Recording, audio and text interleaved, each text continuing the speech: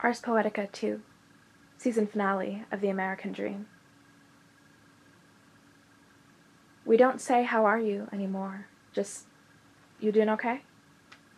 It's a good enough substitute. The answers are equally obvious Fine, thank you, and No, of course I'm not doing okay. No one is doing okay. The only ones doing okay are the ones who don't need to ask.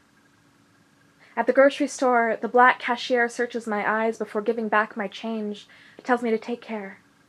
I have never seen I have never seen this man in my life, and still I know he will stay up tonight wondering if I got home safe. These days, every letter I write to my girlfriend ends not with I love you, but with I am so glad we are both alive. I don't say goodbye to people anymore. I am saving my goodbyes for something that feels more and more inevitable. I want to be ready when it comes for me. In some lights these consonants look foreign, torn, but I will not allow them any name less than manifesto. Make no mistake, this is not a story about hatred, it is a story about fury.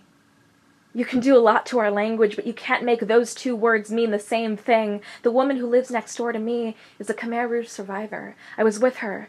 When she learned that a man who brags about sexual assault is now our president, it is the first time I've ever seen her angry, and now I know how she survived.